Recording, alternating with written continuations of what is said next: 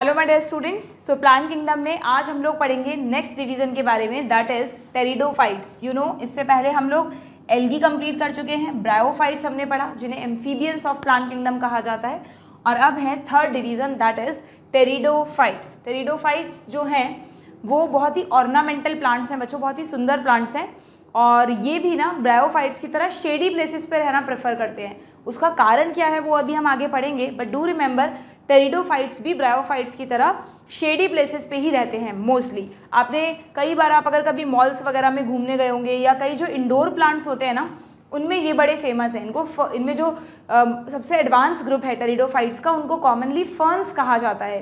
तो उनमें इस तरह की बहुत ही सुंदर लीव्स होती हैं इसलिए इनको ऑर्नामेंटल पर्पज़ के लिए और बहुत ही कम धूप में भी ये ग्रो कर जाते हैं। तो इंडोर प्लांट्स की तरह भी इनको काफ़ी यूज़ किया जाता है ओके बट ये मत समझना कि सारे इंडोर प्लांट्स फर्न्स ही होते हैं। इंडोर प्लांट्स में बहुत सारे एंजियोस्पर्म्स भी हैं but yes ferns are also one of them clear चलिए तो मिलवाते हैं आपको टेरिडोफाइट से। The pteridophytes include horse tails and ferns देखो, अब ये हॉर्स टेल्स क्या हैं भाई? फर्न्स तो फिर भी तुमने सुन रखा होगा। टेरिडोफाइट्स, वैसे तो टेरिडोफाइट में ना चार क्लासेस आती हैं बट उनमें से जो दो सबसे कॉमन है, जो सबसे ज़्यादा देखने को मिलते हैं, उनमें से एक तो फर्न्स है और एक हॉर्स टेल्स भी होते हैं। हॉर्स टेल का पिक्चर देखोगे? ये देखो, ये इस तरह के, बिल्कुल जैसे हॉर्स टेल होती है, बिल्कुल उस तरह के दिखते हैं ये। तुम्हारी एन e में भी फ़ोटो दी है इनकी, ये रही। अलग अलग टाइप के होते हैं हॉर्स टेल्स में भी तो this is also one of horse tail जैसे इसका नाम है इक्वीसीटम ये कौन सा प्लांट है? इक्वीसीटम नीट में बहुत आता है ऑप्शन में तो ध्यान रखना आप लोग। ठीक है? ये इक्वीसीटम हो गया। ये दोनों आपकी बुक में फर्न्स के डायग्राम हैं। दीज आर फर्न्स अलग अलग है। जैसे ये जो फर्न है ना ये इसका नाम लिखा है ना साल्विनिया तो ये एक एक्वेटिक फर्न है बच्चों। Salvinia is a aquatic fern पानी में रहती है ये। पानी में उगती है। अब वैसे देखो टेरिडोफाइट्स जो है ना वो पूरी तरह अडेप्टेड हैं लैंड के लिए। ब्रायोफाइट्स में तो क्या था? हमने कहा था कि आ, वो लैंड पे रह सकते हैं। सेक्सुअल रिप्रोडक्शन के लिए उनको वाटर चाहिए। तो वैसे ही टेरिडोफाइट्स में भी ऐसा है कि वो लैंड पर रहते हैं और सेक्सुअल रिप्रोडक्शन के लिए इनको भी वाटर चाहिए।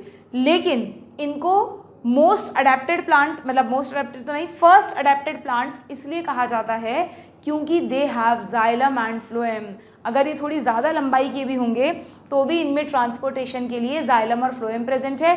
तो फ़ूड का, पानी का ट्रांसपोर्ट ये इजीली कर सकते हैं। ज़रूरी नहीं है कि प्लांट पूरा पानी में ही डूबा रहे कम्प्लीटली एक्वेटिक हो, ठीक है?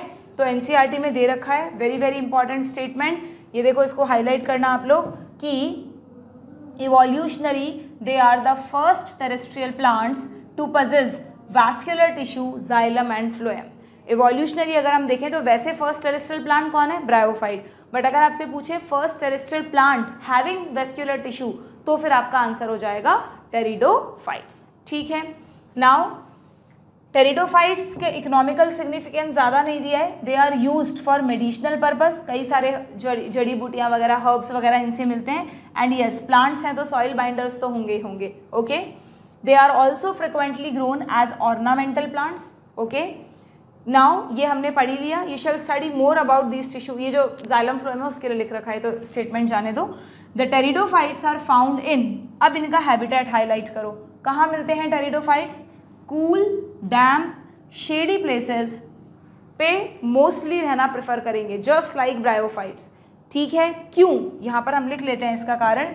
क्यों ये प्रेफर करते हैं इन पर रहना? वैसे आपके एन में दिया है। देखो, अभी आगे जब हम पढ़ेंगे ना तो एन में एक पॉइंट आएगा इसी में कि इनका जो गेमिटोफाइटिक स्टेज होती है, इनका लाइफ साइकिल बताऊँगी मैं अभी आपको, उसमें जो गेमिटोफाइटिक स्टेज आएगी it require cool, damp, shady places to grow because of this specific restricted requirement and the need for water for fertilization their spread is limited and restricted to narrow regions कि होता क्या है कि जैसे आपको ध्यान होगा मैंने आपको बताया था कि जो टेरिडोफाइट्स हैं बच्चों ये टू एन प्लांट्स होते हैं है ना ये आपने यहाँ पे शुरू में ही लिख लेनी है ये बात जो आपके एन में है कि ये दोनों तो एन है और ये तीनों टू एन है क्लियर बट अगर सीड्स के अकॉर्डिंग डिवाइड करें तो इन तीनों में सीड्स एबसेंट है और इन दोनों में सीड्स प्रेजेंट है। ठीक है ना? मिक्स नहीं होनी चाहिए ये चीज़ें। ओके तो क्योंकि टेरिडोफाइट्स डिप्लॉयड हैं, और मैं आपको बता चुकी हूँ कि जो प्लांट्स डिप्लॉयड होते हैं, उनकी मेन प्लांट बॉडी को आप क्या कहते हो बताओ? उनकी मेन प्लांट बॉडी को आप कहते हो गैमिटोफाइट तो ये जितने भी डाय सॉरी नॉट गेमिटोफाइट स्पोरोफाइट तो ये जितने भी डायग्राम्स आपको दिख रहे हैं, ये सब स्पोरोफाइटिक बॉडी है। यस और नो क्यों? क्योंकि टेरिडोफाइट्स कैसे होते हैं? डिप्लॉइड तो डिप्लॉइड प्लांट्स में मेन प्लांट बॉडी कैसे होती है? स्पोरोफाइटिक तो ये इनकी डिप्लॉइड प्लांट बॉडी हुई, है ना?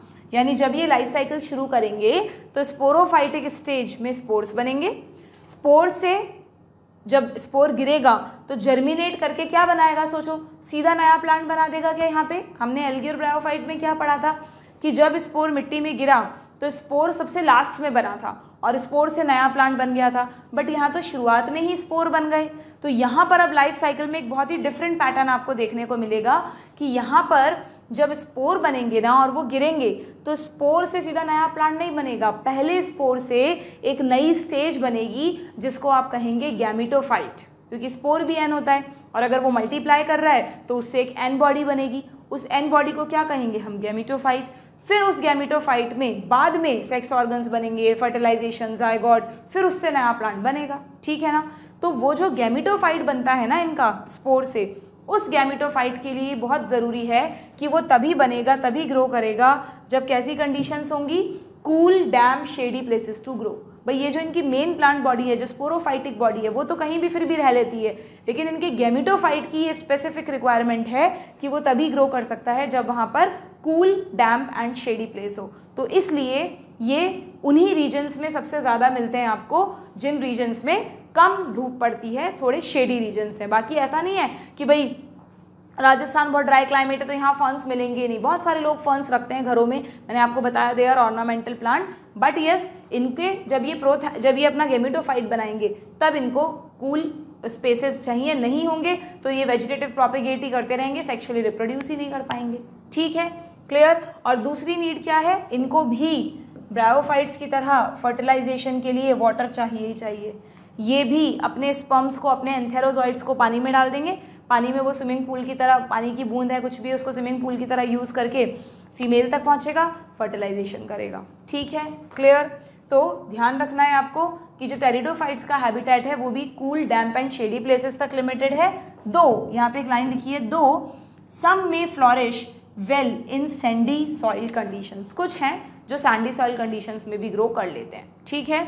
बट अगेन वही अगर वो सैंडी सॉइल कंडीशन में ग्रो कर भी रहे हैं तो भी वो अपना गैमिटोफाइट तभी बना पाएँगे जब उनको उस एरिया में शेड मिलेगी। क्लियर है? आगे बढ़ें। नेक्स्ट क्या दिया है टेरिडोफाइट्स के बारे में भाई? नेक्स्ट पॉइंट दिया है। एक मिनट इसको यहाँ ले लेते हैं। You may recall that in bryophytes ध्यान है the dominant phase is the gametophyte bryophytes क्योंकि एन होते हैं तो वहाँ पे डोमिनेंट स्टेज भी एन ही होगी गेमिटोफाइट ही होगी। However very very important however in pteridophytes the main plant body is a sporophytic one ठीक है, ये बिल्कुल समझने वाली चीज़ है, कोई रटने जैसी चीज़ नहीं है, समझने वाली चीज़ है कि टेरिडोफाइट टू एन होते हैं तो मेन प्लांट बॉडी भी टू एन होगी। और प्लांट्स में हम टू एन स्ट्रक्चर्स को क्या कहते हैं? स्पोरोफाइट कहते हैं।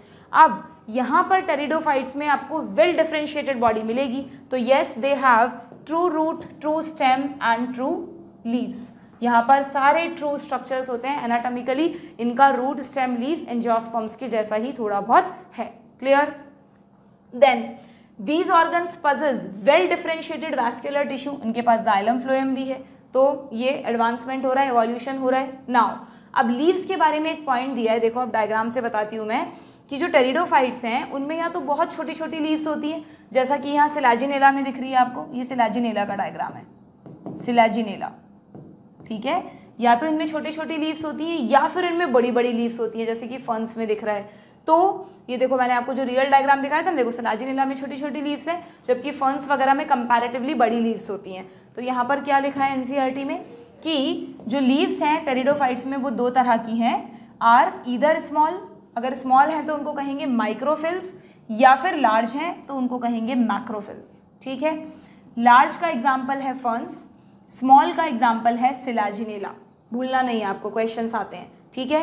नाउ स्पोरोफाइट की अगर हम बात करें, यानी मेन प्लांट बॉडी की बात करें तो द स्पोरोफाइट बियर स्पोरेंजिया अब तुम खुद सोचो कि इस मेन प्लांट को स्पोर्स बनाने तो जैसे ब्रायोफाइट में तो क्या होता फुटसीटा कैप्सूल बना था और कैप्सूल में स्पोर बने थे। यहाँ तो मेन प्लांट को ही स्पोर बनाने हैं। तो स्पोर बनाने के लिए इनके पास कुछ स्ट्रक्चर्स तो होने चाहिए ना, कुछ बैग होने चाहिए जिनके अंदर ये स्पोर बनाएँगे। तो उन बैग्स को कहते हैं स्पोरेंजिया मैंने आपको बताया हुआ है, कहीं भी स्पोरेंजिया वर्ड आए स्पोरेंजिया मतलब वो बैग्स जिनके अंदर स्पोर्स बनेंगे। अब इनमें स्पोरेंजिया कहाँ है देखो? तो स्पोरेंजिया के लिए क्या होता है बच्चों? इनमें दो पैटर्न्स देखने को मिलते हैं। मैं तुम्हें बड़े ब्यूटीफुल से पिक्चर से दिखाती हूँ। देखो, इसमें क्या होता है कि जनरली जो फर्न्स है ना, जिन पे बड़ी बड़ी लीव्स हैं अभी मैंने आपको क्या बताया? फर्न्स में बड़ी बड़ी लीव्स हैं, है ना? तो जो फर्न्स हैं, जिनके पास बड़ी बड़ी लीव्स हैं, वहाँ पर क्या होता है? सीधा लीव्स के ऊपर ही कुछ छोटे छोटे आपको ऐसे ऑरेंज कलर के अलग अलग कलर्स के स्ट्रक्चर्स दिखने लगते हैं। ये जो आपको स्ट्रक्चर दिख रहा है ना, इसको कहते हैं सोराय क्या कहते हैं? Sori and what is sori या सोरस भी कह देते हैं। Sori is a group of sporangia छोटे छोटे बैग्स हैं स्पोरेंजिया के, उन बैग्स के ग्रुप को कहते हैं सोराय अगर सोराय नहीं भी याद रहे तो आप तो ये समझ लो कि ये एक बैग है जिसके पास, अगेन छोटे छोटे बैग्स हैं जिनको आप कह रहे हो स्पोरेंजिया और उनके अंदर स्पोर बनेंगे। जैसे ही स्पोर बनेंगे, बैग फट जाएँगे और स्पोर मिट्टी में गिर जाएँगे। अभी कोई फर्टिलाइजेशन फ्यूजन कुछ नहीं हुआ, अभी गैमिट बने ही नहीं है। सीधा मेन प्लांट बॉडी ने क्या बना लिए? सोराय बना लिए। Sori is the aggregate of sporangia जिसके अंदर स्पोर बन गए। और स्पोर से पहले स्पोरिक मियोसिस हुआ ही हुआ होगा। ठीक है? या फिर दूसरा तरीका क्या है स्पोर बनाने का? देखो। मोस्ट ऑफ़ टेरिडोफाइटा तो इस तरह से रिप्रोड्यूस करते हैं। कुछ टेरिडोफाइट्स में स्पोरेंजिया ना बन के कोन्स बनते हैं। कोन लाइक स्ट्रक्चर्स जिनको आप सिंपली कोन्स भी बोल सकते हो, या इनको स्ट्रॉबिलाए भी बोलते हैं। स्ट्रॉबिलाए या इनको लैक्स भी बोल देते हैं। तीनों एक ही स्ट्रक्चर के नाम है, ठीक है? क्योंकि दिखने में कोन जैसे हैं that's why they are cone अब समझना है कोन कैसे बने? जैसे मान लो, यहाँ पर बहुत सारी ऐसी लीव्स थी। ऐसी लीव्स जो स्पोर बनाएँगी, उनको स्पोरोफिल्स कह सकती हूँ क्या मैं? जैसे यहाँ पर ये जो लीव्स आपको दिख रही हैं, इनको स्पोरोफिल्स कह सकती हूँ मैं? The leaves which are associated with spore formation sporophyll ठीक है। तो यहाँ पर भी ना बहुत सारी लीव्स लगी हुई थी इस नोड पे, और उन वो लीव्स का साइज़ थोड़ा छोटा है तो उनके ऊपर ऐसे बैग नहीं बन सकते थे तो वो लीव्स ने कंडेंस करके एक कोन लाइक स्ट्रक्चर बना दिया। तो जो स्पोरोफिल्स हैं, उन्हीं के कॉम्पैक्ट अरेंजमेंट को क्या कहते हैं? कोन ठीक है? तो बट अब इस कोन के अंदर क्या है? बहुत सारे स्पोरेंजिया हैं। वो सब स्पोर्स बना, उनके अंदर स्पोर्स बनेंगे। और जब स्पोर बन जाएँगे तो कोन्स वगैरह फट जाएँगे और स्पोर मिट्टी में गिर जाएँगे। ठीक है? तो दोनों ही जगह अल्टीमेटली स्पोर बनाने हैं बट स्पोर बनाने का तरीका अलग अलग है। या तो टेरिडोफाइट्स में स्पोरेंजिया बनते हैं, या कुछ टेरिडोफाइट्स में कोन्स बनते हैं। ये सब में नहीं बनते। इन कोन्स किसमें बनते हैं? In few pteridophytes few pteridophytes और ध्यान रखो, जिनके पास बड़ी पत्तियाँ होती हैं, वहाँ तो स्पोरेंजिया बन जाएँगे। बट जहाँ माइक्रोफिल्स हैं, जैसे सिलाजिनेला हुआ, है ना, इक्विसीटम हुआ, वहाँ पर क्या बनेंगे? वहाँ पर छोटी लीव्स हैं तो उनको कॉम्पैक्ट होकर कोन्स बनाने पड़ेंगे। देखो एनसीईआरटी में क्या लिखा हुआ है। एनसीईआरटी में लिखा है कि the sporophytic body bear sporangia that are subtended by leaf like appendages यानी स्पोरोफिल स्पोरेंजिया कहाँ बन रहे हैं? स्पोरोफिल्स पर बन रहे हैं। इन सम केसेस हाईलाइट करो इसे। In some cases, sporophylls may form distinct compact structure called strobili or cones. वो some cases में कौन से टेरिडोफाइट आएँगे?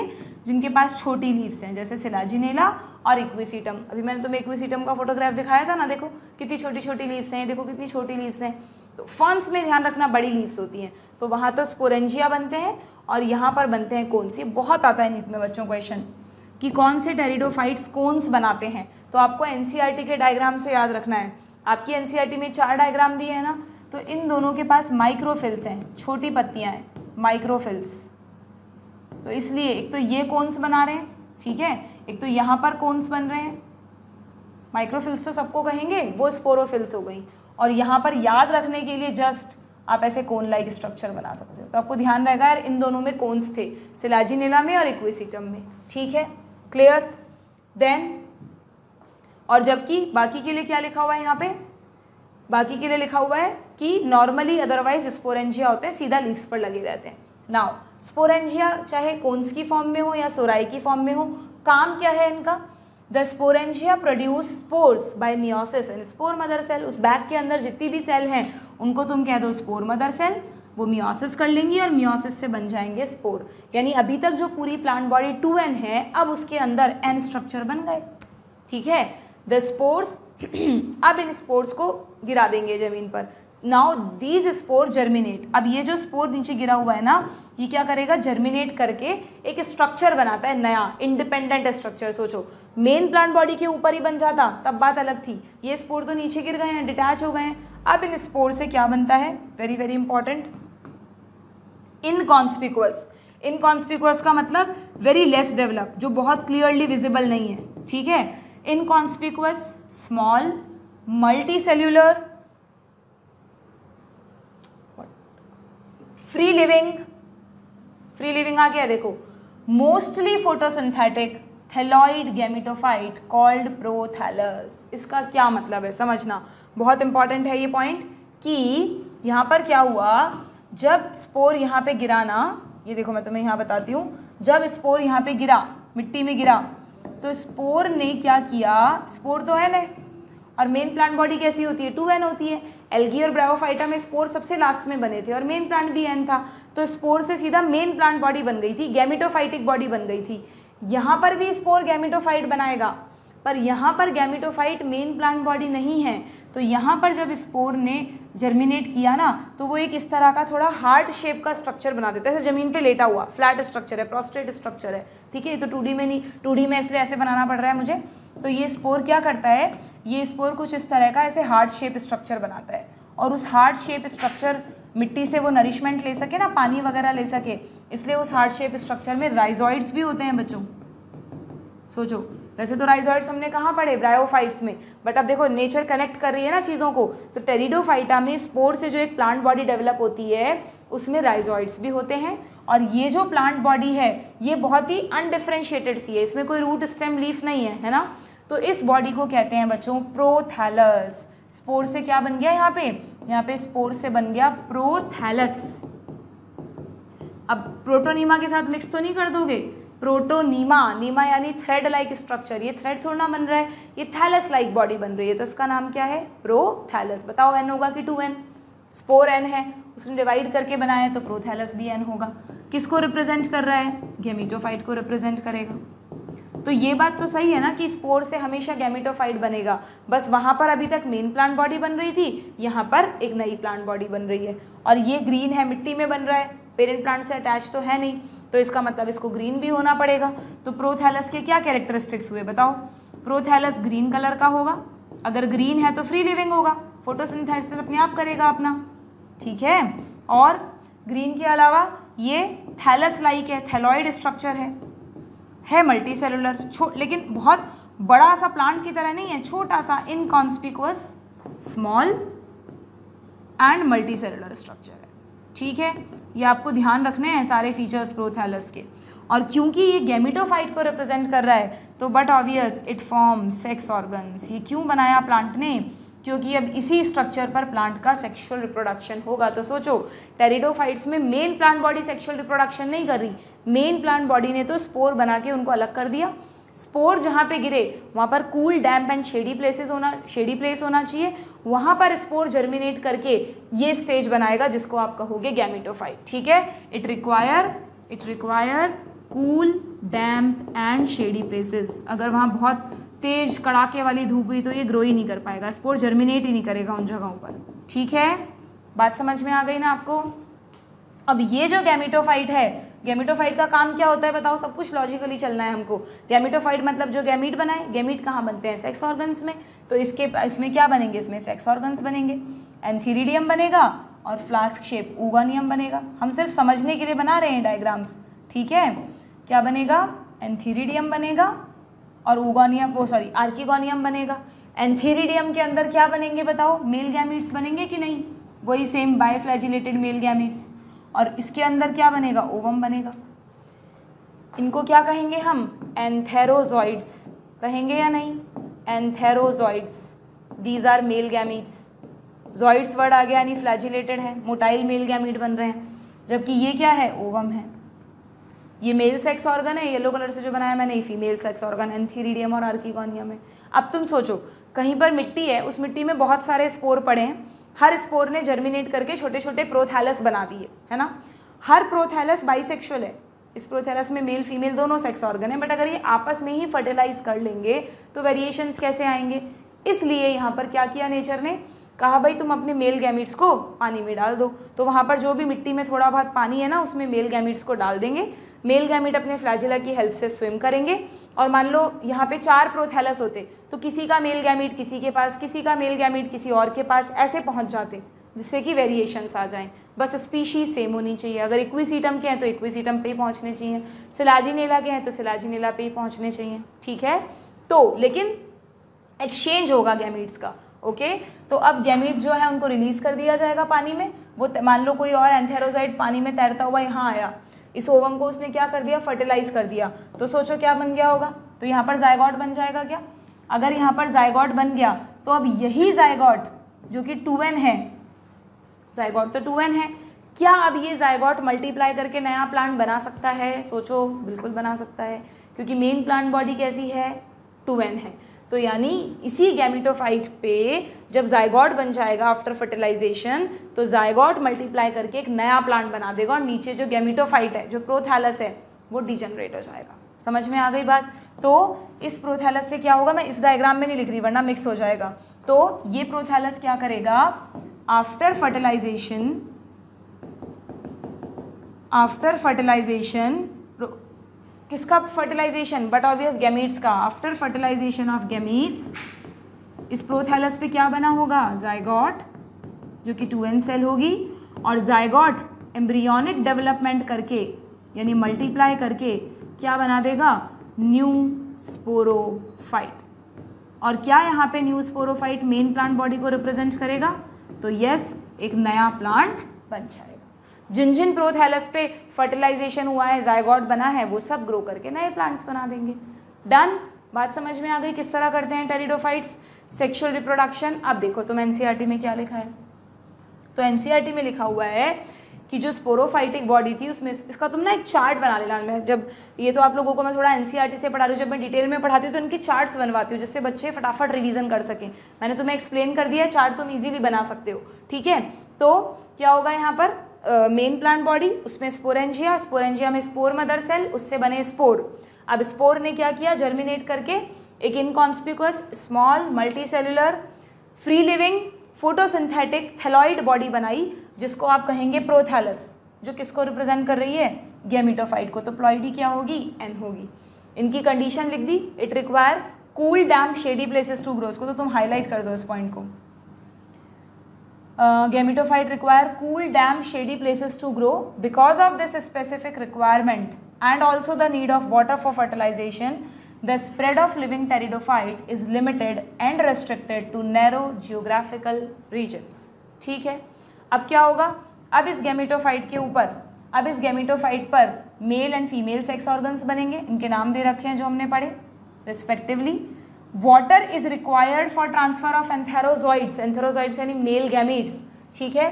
They are release from the antheridia और ये कहाँ पहुँच जाएँगे? To the mouth of archegonium archegonium का जो ऊपर माउथ होता है, वहाँ पहुँच जाएँगे। Fusion of male and female gamete in the archegonium internal fertilisation मैंने आपको कहा था एल्गी के अलावा सारे प्लांट्स में इंटरनल फर्टिलाइजेशन होता है। एल्गी में मोस्टली एक्सटर्नल कुछ में internal result in the formation of zygote यानी हो गया सेक्शुअल रिप्रोडक्शन कंप्लीट अब ये जायगॉट क्या करेगा? Zygote thereafter produce a multicellular well differentiated sporophyte which is again the dominant phase of वो नेक्स्ट डोमिनेंट फ़ेज़ दोबारा स्टार्ट हो गई। मेन प्लांट बॉडी बन गई। भाई हमेशा ध्यान रखो डोमिनेंट फ़ेज़ किसको कहते हैं? जो मेन प्लांट बॉडी होती है।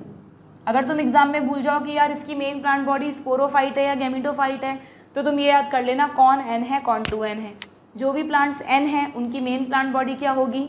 गेमिटोफाइटिक जो भी प्लांट्स टू एन है, उनकी मेन प्लांट बॉडी क्या होगी? स्पोरोफाइटिक ये दोनों एन है ना? तो इन दोनों में जो डोमिनेंट फ़ेज़ है लाइफ की डोमिनेंट फ़ेज़ वो क्या होगी? वो होगी गैमिटोफाइट और ये तीनों टू एन है ना तो इन तीनों में जो डोमिनेंट फ़ेज़ है, वो क्या होगी? वो होगी स्पोरोफाइट इसमें कुछ भी रटने जैसा नहीं है, बच्चों। अगर तुम्हें ये याद है कि कौन से प्लांट हैप्लॉयड हैं और कौन से डिप्लॉयड हैं तो तुम्हें याद रहेगा कि इसमें डोमिनेंट फ़ेज़ कौन सी है। ठीक है? तो देखो टेरिडोफाइट्स ने अपने लाइफ साइकिल में दोनों स्टेज बनाई ना। गैमिडोफाइट भी बनाया और बाद में स्पोरोफाइट भी बनाया। और दोनों अलग अलग जग अलग अलग बने ना, और दोनों इंडिपेंडेंट है ना। तो ब्रायोफाइट्स में तो क्या था? फुट सीटा कैप्सूल यानी स्पोरोफाइट नीचे वाले, यानी गेमिटोफाइट पर डिपेंडेंट था। बट टेरिडोफाइट्स में both stages are free living लेकिन हाँ दोनों में से डोमिनेंट कौन है जो मेन है, यानी कि स्पोरोफाइट ये तो कितना छोटा सा स्ट्रक्चर बना है। क्लियर आगे क्या लिखा है भाई? Now in majority of pteridophytes all spores are of similar kind such plants are called homosporous अब एक और इंपॉर्टेंट क्वेश्चन देखना कि वैसे तो ज़्यादातर मोस्ट ऑफ़ द टेरिडोफाइट्स कहाँ गया? गिरा मेजोरिटी ऑफ़ टेरिडोफाइट इसी तरह से रिप्रोड्यूस करते हैं, जैसे मैंने तुम्हें समझाया। और क्योंकि स्पोर में कुछ अलग था क्या कि ये मेल स्पोर है, फीमेल स्पोर है? नहीं। स्पोर ने प्रोथैलस बनाया, एक ही प्रोथैलस पे मेल फीमेल ऑर्गन्स बन रहे हैं तो वहाँ तक तो कोई कोई भी चेंज नहीं था। तो ऐसे सभी टेरिडोफाइट्स क्या कहलाते हैं? होमोस्पोरस। एक ही टाइप के स्पोर बन रहे हैं। मोस्ट ऑफ़ द टेरिडोफाइट इसी का एग्ज़ाम्पल है। बट अब आता है बहुत ज़्यादा पूछा जाने वाला question Selaginella and Salvinia produce two kinds of spores large and smaller and they are called heterosporous बहुत क्वेश्चन आता है कि इनमें से कौन से टेरिडोफाइट्स हेटेरोस्पोरी शो करते हैं? हेटेरोस्पोरी मतलब जब बैग के अंदर स्पोर बने ना तो कुछ बैग्स के अंदर स्मॉल साइज़ स्पोर बने, कुछ के अंदर बड़े बने। जो स्मॉल हैं, उनको कहेंगे माइक्रोस्पोर जो बड़े हैं, उनको कहेंगे मेगा या मैक्रोस्पोर ठीक है? तो अगर शुरू से ही डिसाइड हो गया कि ये छोटे हैं, ये बड़े हैं, इनसे मेल बनेगा, इनसे फीमेल तो ऐसे टेरिडोफाइट कहलाते हैं। हेटेरोस्पोरस डू रिमेंबर और इसमें दो एग्जाम्पल्स आपको ध्यान रखने हैं एस एस सिलाजिनेला और साल्विनिया। इन दोनों में, ये जो आपके चार डायग्राम है ना, देखो, इन दोनों को तो आपने माइक्रोफिल के लिए याद किया था, इन दोनों को आप किसके लिए याद करोगे हेट्रोस्पोरी के लिए। ये दोनों हेट्रोस्पोरस हैं, सिलाजिनेला और साल्विनिया। ठीक है? और क्या होता है यहाँ पर ऐसा होने से? कि क्योंकि बड़े साइज़ के स्पोर हैं, छोटे साइज़ के स्पोर हैं तो हमेशा आपको पता है जो छोटा होता है वो मेल को रिप्रेजेंट करता है मेल गैमीट जो बड़ा है वो फीमेल को रिप्रेजेंट करता है। तो यहाँ क्या लिखा है? The megaspore and microspore germinate and give rise to female and male gametophyte respectively जो माइक्रोस्पोर है ना बच्चों, वो जब गिरेंगे और प्रोथैलस बनाएँगे हार्ट शेप स्ट्रक्चर तो उस पर सिर्फ़ मेल सेक्स ऑर्गन ही बनेगा, सिर्फ़ एंथीरिडिया ही बनेगा। और गैमीट्स भी सिर्फ़ मेल गैमीट ही बनेंगे। और जो फीमेल जो मेगा स्पोर है बड़े साइज़ वाला, उससे जो प्रोथैलस बनेगा, उस पर सिर्फ़ आर्किगोनियम ही बनेगा, यानी सिर्फ़ फीमेल गैमीट ही बनेगा। तो शुरू से ही क्या हुआ है यहाँ पर? डिफ्रेंशिएट हो गया कि कौन मेल बनाएगा और कौन फीमेल प्रोथैलस बनाएगा। तो यानी एक तरह से हेट्रोस्पोरस में मेल प्रोथैलस अलग है फीमेल प्रोथैलस अलग है। ठीक है? एंड एक और बहुत इंपॉर्टेंट बात देखना क्या लिख रहा है? द इसे भी तुम हाईलाइट करो. The female gametophyte in these plants are retained on the parent sporophyte अभी ये क्या लिख दिया भाई इन्होंने? ये क्या कह रहा है? समझना ध्यान से कि मान लो, सिलाजिनेला की बात हो रही है ना, मान लो ये सिलाजिनेला एक, ठीक है? इस सिलाजिनेला ने अपने ऊपर दो तरह के कोन्स बनाए. दो तरह के वो बनाए कोन्स बनाए. एक में माइक्रोस्पोर बने हैं, एक में मेगा स्पोर बने हैं. अब ये वाला तो फट गया. और माइक्रोस्पोर नीचे मिट्टी में गिर गए। और मिट्टी में गिर के उन माइक्रोस्पोर्स ने मेल प्रोथैलस बना दिए और उनमें मेल गैमिट्स भी बना दिए और उन्हें पानी में छोड़ दिया। अब वो अपने फीमेल गैमिट को ढूंढ रहे हैं, कहाँ हैं भाई? तो उनको फीमेल गैमिट कहाँ मिलेगा? फीमेल प्रोथैलस में। लेकिन फीमेल प्रोथैलस वहाँ मिट्टी पे नहीं है। फीमेल प्रोथैलस को इसी सिलाजिनेला ने अपने ऊपर ही बनाया। वो जो मेगा स्पोर बने थे ना, वो मेगा स्पोर को उसने गिराया नहीं। बल्कि वो जो मेगा स्पोर जिन स्ट्रक्चर्स में कोन्स में बने थे, वो मेगा स्पोर वहीं रहे। वहीं पर उसने उनको जर्मिनेट करके फीमेल प्रोथैलस बना दिया। मेन प्लांट पेरेंट प्लांट पे अटैच नहीं है। अब धीरे धीरे हायर प्लांट्स की तरफ़ जा रहे हैं। आप पढ़ते हो ना जिम्नोस्पम और एंजियोस्पम में सीड्स बन जाते हैं, तब तक वो अपने पेरेंट प्लांट से अटैच रहता है। तो यहाँ पर शुरुआत हुई है उस हैबिट की, कि टेरिडोफाइट्स में क्या होता है? सारे टेरिडोफाइट्स में नहीं, सिर्फ़ हेट्रोस्पोरस वालों में सिलाजिनेला और साल्विनिया में, कि माइक्रोस्पोर तो गिरा दिए मिट्टी में। मेल वाला तो डेवलपमेंट अलग हो रहा है, लेकिन फीमेल वाले पार्ट को अपने से चिपका के रखा है पेरेंट ने, ठीक है? तो पेरेंट के ऊपर ही फीमेल प्रोथैलस बना, इसी फीमेल प्रोथैलस पे आर्किगोनियम बना, इसी आर्किगोनियम में फीमेल गैमिट बन के तैयार है। अब वो जो मेल गैमिट है, उनको इस फीमेल गैमिट तक पहुँचना पड़ेगा। ठीक है?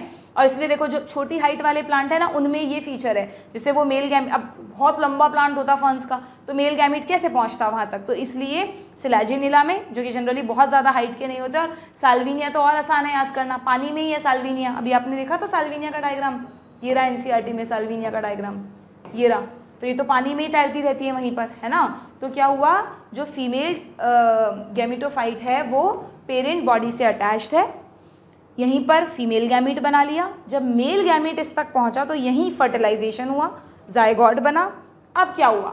अब अभी तक पेरेंट प्लांट के ऊपर अटैच है ना, अब जायगॉट भी बन गया। अब जायगॉट ने मल्टीप्लाई करना शुरू किया एम्ब्रियोनिक डेवलपमेंट अब सोचो, अगर यहीं पर वो जायगॉट पूरा ग्रो कर लेता तो प्लांट के ऊपर प्लांट उग जाता।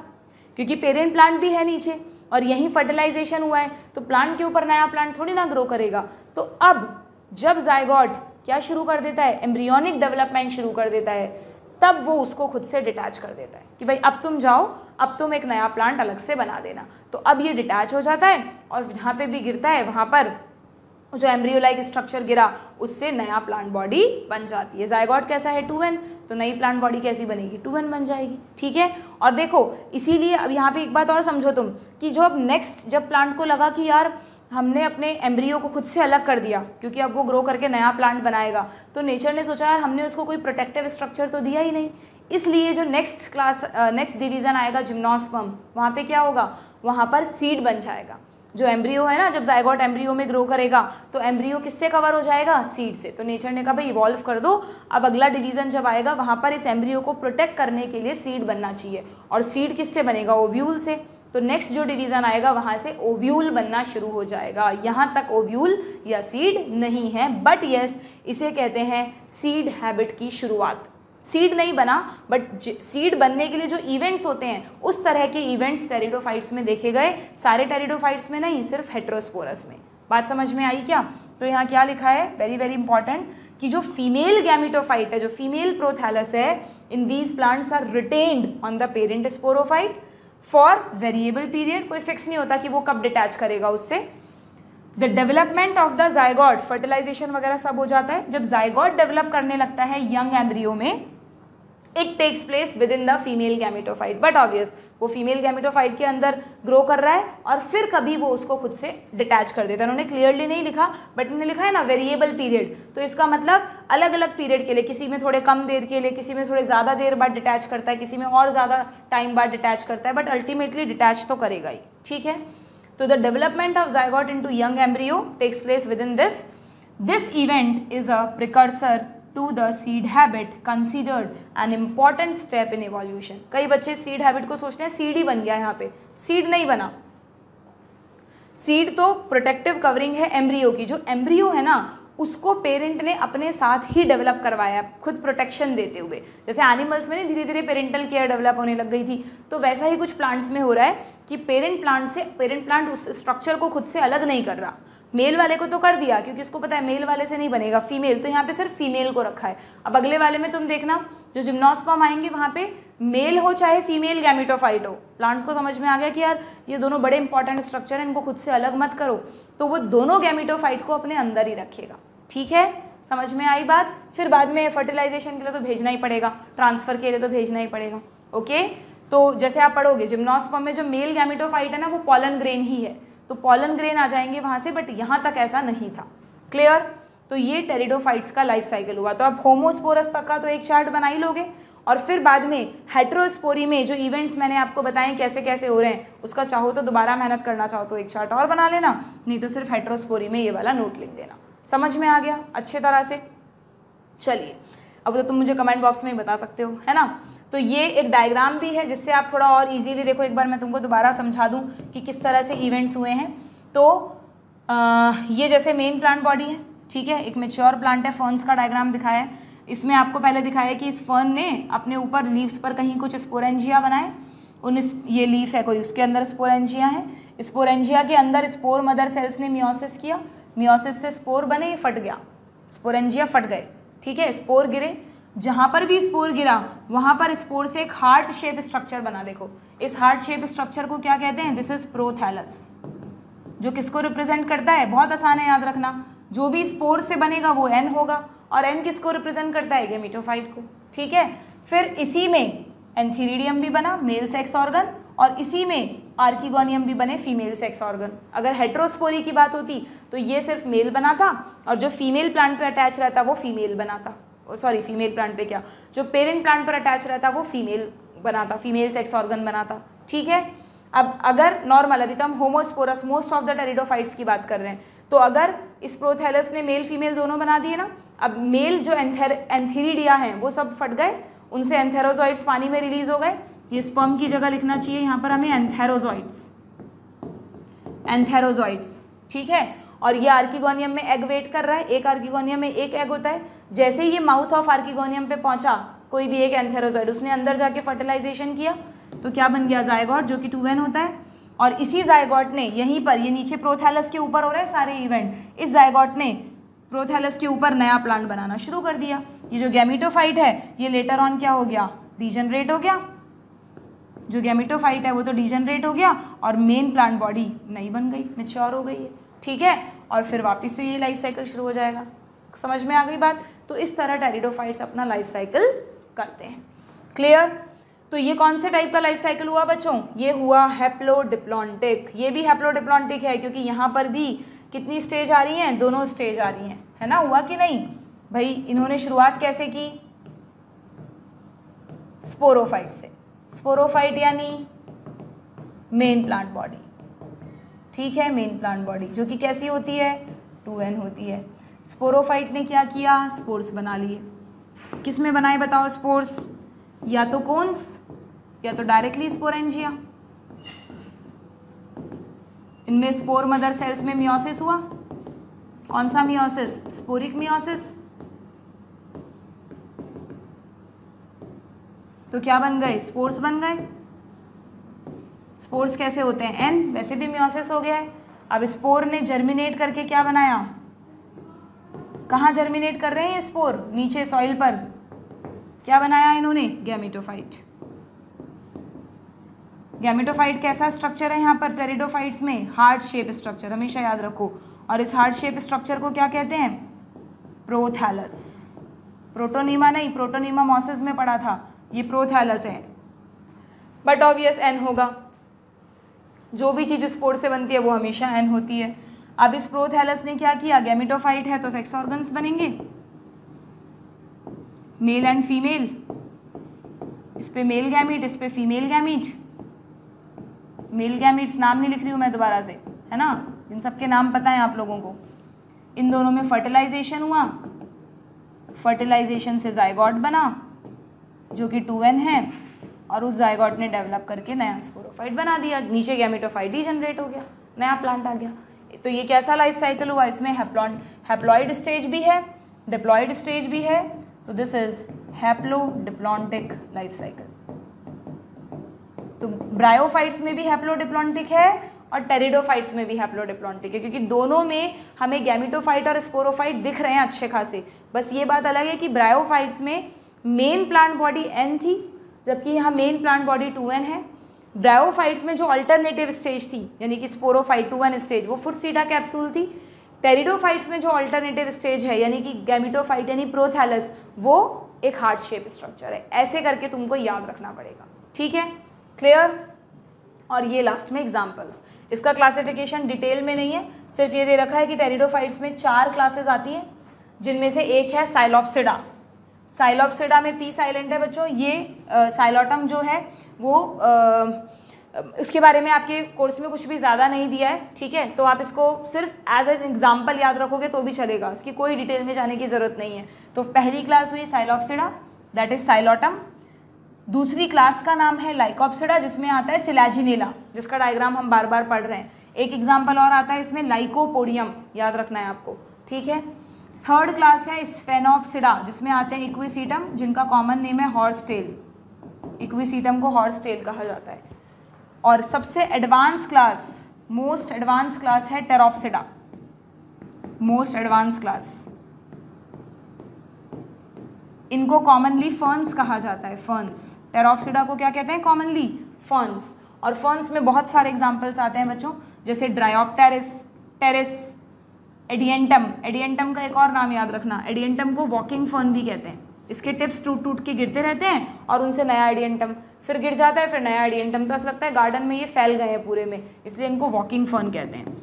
या पहले बहुत पूछते थे, अब तो नहीं पूछते, इनका एक और नाम है मेडन हेयर फर्न से पुराने टाइम में जो मेडन जो राजकुमारियाँ वगैरह होती थी ना, वो जब उनकी बड़े बड़े बाल होते थे तो जो गोथी जब वो छोटी, गुथी हुई छोटी बनाते थे तो वो जैसी दिखती थी ना, वैसे दिखते हैं ये एडियंटम की लीव्स वैसी दिखती हैं, देखो। लाइक दिस ब्रेडेड ठीक है? तो इसलिए इसको मिडन हेयर फन भी कह देते हैं। और एक एग्ज़ाम्पल और लिख लेना तुम। एडियंटम के अलावा एडेंटम के अलावा एक वो भी लिख लो तुम। साल्विनिया साल्विनिया भी तो फर्न में आता है ना? एडेंटम के बाद ऐड कर लो। साल्विनिया ये एक्वेटिक फर्न है, पानी में उगने वाली। वैसे एक और है जो कई बार नीट में ऑप्शंस में देखी है मैंने मार्सिलिया ये भी एक्वेटिक फर्न है। ठीक है? हो गए सारे एग्जाम्पल्स फर्न्स में Pteris Dryopteris Adiantum, Salvinia, Marsilea और एक आगे बायो के कुछ चैप्टर्स में आएगी, एजोला फर्न एजोला भी एक फर्न है। ठीक है, ये भी पानी में रहती है। तीनों एक्वेटिक फर्न्स हैं। Salvinia, Marsilea, Azolla. एजोला वो जो राइस के, चावल के खेत होते हैं पैडी फील्ड्स उनमें एजोला को डाल देते हैं। क्योंकि एजोला के अंदर एनाबीना रहता है, जो कि नाइट्रोजन फिक्सेशन करता है। तो राइस को फर्टिलाइजर्स मिल जाते हैं। ठीक है? क्लियर तो ये एग्जाम्पल्स आपको ध्यान में रखने हैं. This is all about the pteridophytes economical significance अलग से नहीं है, जो शुरू में हमने पढ़ा था. ऑर्नामेंटल मेडिशनल सॉइल बाइंडर्स बस यही है. ओके अब आप इसको पढ़ लेना और प्लीज़ अगर याद रखना चाहते हो इस टॉपिक को तो ये जो टेरिडोफाइट्स का लाइफ साइकिल मैंने तुमको समझाया है ना होमोस्पोरस का और हेट्रोस्पोरस का, उनके अलग अलग चार्ट्स बना लेना तो ही आपको चीज़ें याद रहेगी, वरना बाद में जब दोबारा पढ़ने बैठोगे, कुछ समझ में नहीं आएगा कि क्या लिखा हुआ है. ठीक है? चलिए नेक्स्ट सेशन में will discuss about the gymnosperms